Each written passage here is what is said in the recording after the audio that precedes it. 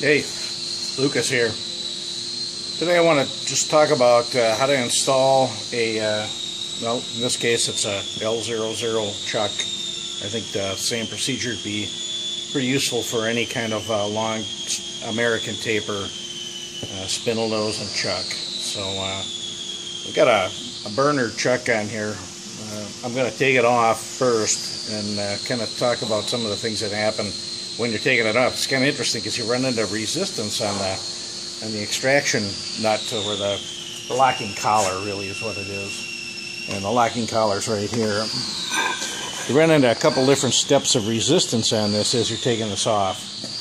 And uh, you'll find when you're taking off, uh, you know, extracting a, uh, the, the 5C adapter, there's like three steps of resistance. And taking this off, there's two. So uh, we're going to pull this off and and just show you. So, yeah, one thing I always like to do was put a piece of plywood, this just little piece of 3 8 plywood, on the ways like that, and that helps to protect the ways, of course. And, uh, uh, you know, in the, these chucks aren't terribly heavy.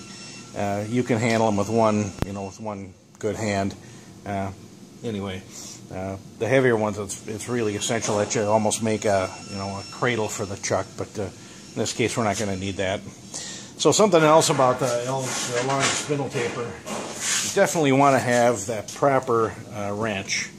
And uh, this is a Martin 466, and uh, they're not terribly expensive. Uh, it's also called a, a 5, and I think that has to do with the diameter of this locking collar. It's probably about 5 inches. That seems about right. The pin is 7 16ths. That's this guy.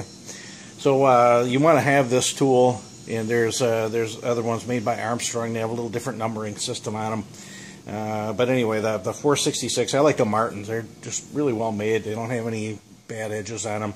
They're not uh, uh the, the uh, a lot of the Armstrongs. There's a kind of a groove in here on both sides. Just a matter of personal preference. I kind of like this one better. Okay, so we're gonna first uh, take this off now when we go to the tightening process, you'll see why I'm going to need a lead hammer. And uh, I'm going to need it both for installing and taking it out. Uh, I've got a, it's kind of beat up, but uh, boy, these things are, are just awesome. And uh, this is an actual Cook uh, lead hammer handle. Uh, the head's a little wobbly on it, but boy, it still works good. We're going to recast it at some point. We're going to use it today. So first thing I want to mention is there's, you know, there's two directions you can turn the, the locking collar. Uh, just like any good uh, any good system, there's a way to tighten it and a way to loosen it. So it's not necessarily intuitive, but to loosen it, you're going to turn it clockwise. So the, the first thing you're going to want to do is uh, put it in back gear, and uh, you're going to want to have your uh, the the pin here engaged too. So we're going to lock the spindle. Then you you can put this on and I'm, I'm hanging out of this uh, out of this chuck this uh, pin spanner because it's gonna it's gonna want to go to the back of the machine. Okay, so there we go. So uh, clockwise this direction, from, you know, looking at it from this way, clockwise is gonna pull this off. So that's the first step of resistance that we mentioned.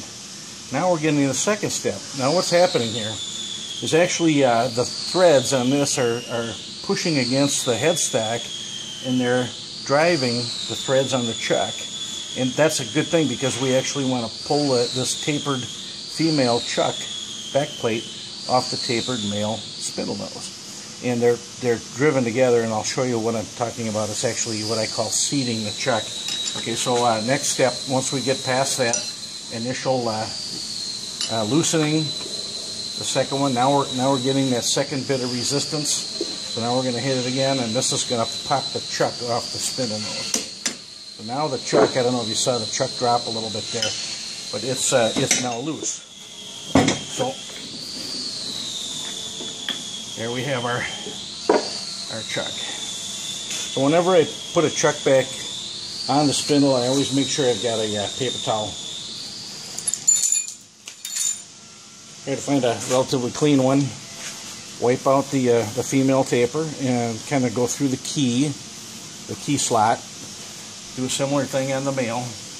And sometimes I'll even uh, put a little oil on it. This doesn't need, this doesn't really need it. So sometimes I'll put a little oil in these threads too because these are going to slide against these and it's important that they not wear.